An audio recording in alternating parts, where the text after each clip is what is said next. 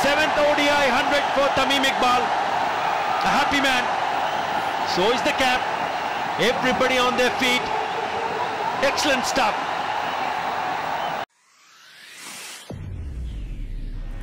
Welcome to cricket today YouTube channel উঠে এসেছেন বনেদি এক পরিবার থেকে জন্ম নিয়েছেন বিশ মার্চ উনিশশো উননব্বই সাল চট্টগ্রামে এমন এক পরিবারে যেখানে বাবা ইকবাল খান ছিলেন জনপ্রিয় ফুটবল তারকা।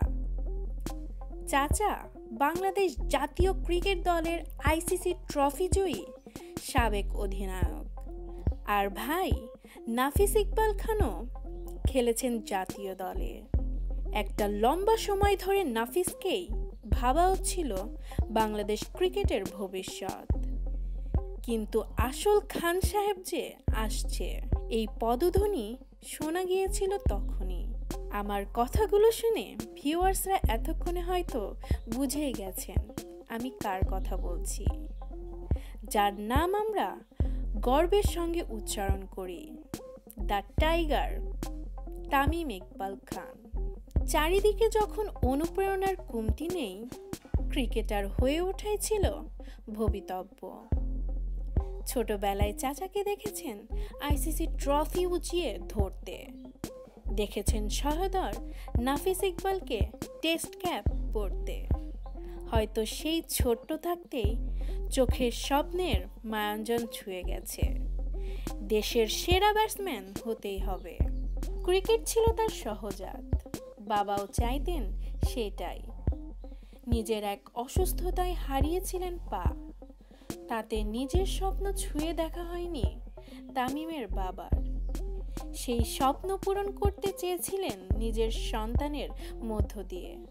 আর তাই তামিমও ছুটেছেন বাবার স্বপ্ন পূরণে। ছুটে চলেছেন আজও। হয়েছেন সব ফরম্যাটে বাংলাদেশের সর্বোচ্চ রান সংগ্রাহক, সর্বোচ্চ শতকের অধিকারী। সময়ের প্রয়োজনে নিজের স্বকীয় খেলার ধরন বদলে ফেলেছেন। হয়ে উঠেছেন পুরোদস্তর শান্ত ধ্রুপদী, অথচ ধারাবাহিক এক ব্যাটসম্যান। নিজের সামর্থ্য প্রথমবারের মতো সবার সামনে তুলে ধরতে সক্ষম হয়েছিলেন অনূর্ধ্ব উনিশ পর্যায়ে। ইংল্যান্ডের বিপক্ষে মাত্র একাত্তর বলে একশো বারো রান করে ম্যাচ জিতিয়ে। চোখে পড়ে গেলেন নির্বাচকদের। ফলে দুই হাজার ছয় অনূর্ধ্ব উনিশ বিশ্বকাপটা খুব সুবিধা করে উঠতে না পারলেও দুই হাজার সাত সালের শুরু নাগাদ সুযোগ পেয়ে গেলেন জাতীয় দলে। অভিষেকে জিম্বাবুয়ের বিপক্ষে শুরুটা খুব সুবিধার হলো না। প্যাভিলিয়নে ফিরে গেলেন মাত্র পাঁচ রান করেই। দ্বিতীয় ম্যাচে বত্রিশ বলে তিরিশ রানের ছোট্ট একটা ইনিংস খেললেন বটে। তবে তাতে সামর্থ্যের ঝলকানি থাকলেও আশার ঝিলিক খুব একটা ছিল না। মাত্র সাতাশ ম্যাচ খেলার পরই ভাই শাহরিয়ার নাফিস বাদ পড়েন দুর্দান্ত এক ক্যারিয়ার শুরুর সূচনার পরও। তাই তামিম বুঝে যান, আন্তর্জাতিক ক্রিকেট বড় কঠিন জায়গা। মাত্র দুই ম্যাচ খেলার অভিজ্ঞতা সম্পন্ন তামিম ইকবালকে নিয়েই বিশ্বকাপে যাত্রা করল বাংলাদেশ। আর এখানেই তামিমের নিজের চেনানোর শুরু। ক্রিকেট বিশ্বকাপে নিজের প্রথম ম্যাচেই অভিজ্ঞ জহির খানকে ডাউন দ্য উইকেটে এসে সপাটে হাঁকিয়ে জানিয়ে দিলেন তার আগমন ধ্বনি করলেন তেপ্পান্ন বলে একান্ন রান। অবশ্য পরবর্তী ফিফটি পাওয়ার জন্য অপেক্ষা করতে হলো আরও বারোটা ইনিংস। তামিম বুঝতে পারলেন উন্নতি করা প্রয়োজন। কোচ সিরন্সের তত্ত্বাবধানে নিজের fitness, batting technique, shot selection এবং ট্রেনিং পদ্ধতি নিয়ে দারুণ কাজ করেন তামিম। নিজের ব্যাটিংয়ের ধরনে পরিবর্তনের বড় কৃতিত্ব সিডন্সকেই দিয়েছেন তিনি।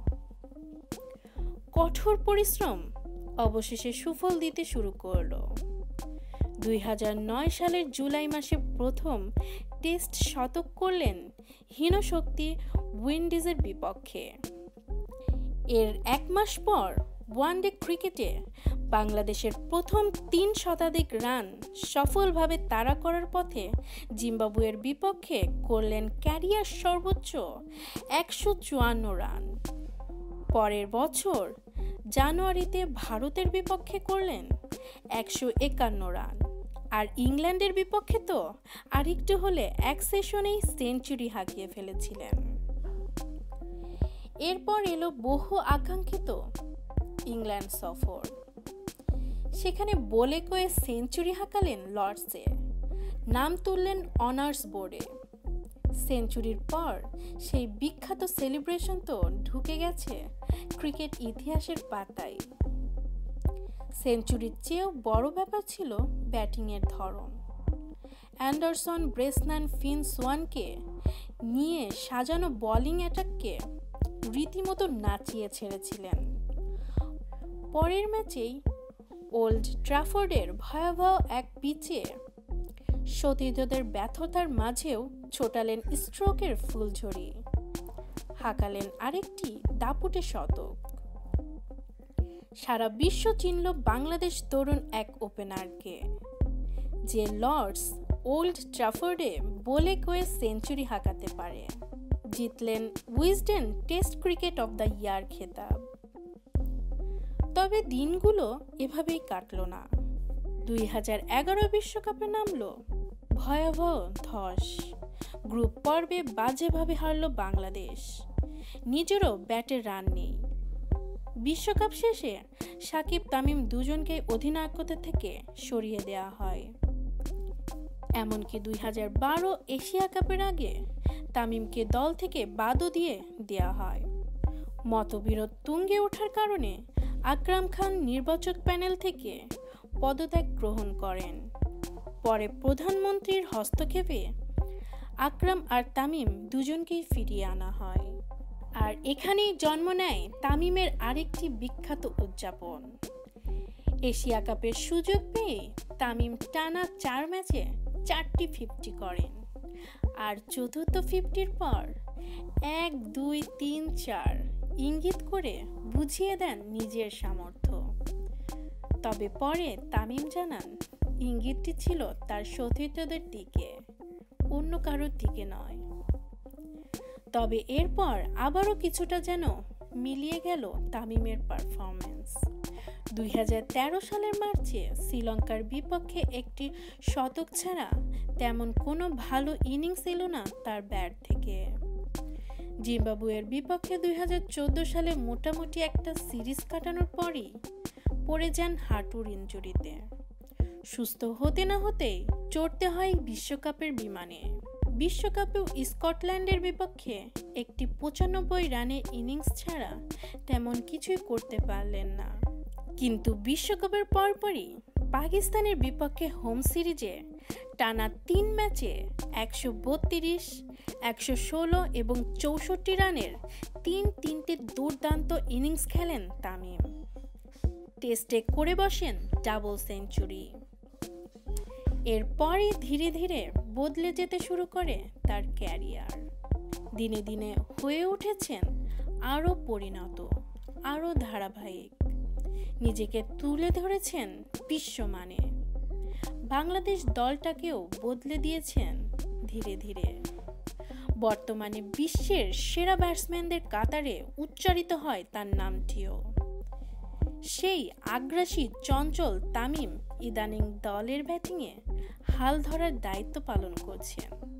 হয়েছেন ধীর স্থির। তিনি একশো তিরানব্বইটি ম্যাচ খেলে ছয় হাজার ছয়শো ছত্রিশ রান করেছেন। তার গড় ছত্রিশ দশমিক ছাব্বিশ এবং সর্বোচ্চ রান একশো চুয়ান্ন। তিনি সর্বমোট একশো করেছেন এগারো বার এবং পঞ্চাশ করেছেন ছেচল্লিশ বার। যারা আমাদের চ্যানেলটি সাবস্ক্রাইব করেছেন তাদেরকে ধন্যবাদ। আর যারা করেননি, তারা ক্রিকেটের সকল আপডেট পেতে এখনই নিচের রেড বাটনটি ক্লিক করে সাবস্ক্রাইব করুন এবং তার পাশের বেল আইকনটি ক্লিক করে আমাদের সাথেই থাকুন।